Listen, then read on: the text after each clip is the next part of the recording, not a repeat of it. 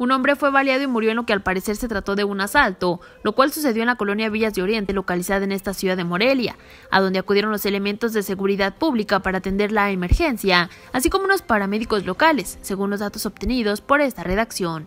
Al respecto, fuentes allegadas al caso dijeron a este medio que los vecinos del asentamiento en referencia solicitaron el apoyo de los uniformados y los rescatistas al enterarse del acontecimiento violento, instante en el que al lugar se trasladaron los uniformados para brindar ayuda.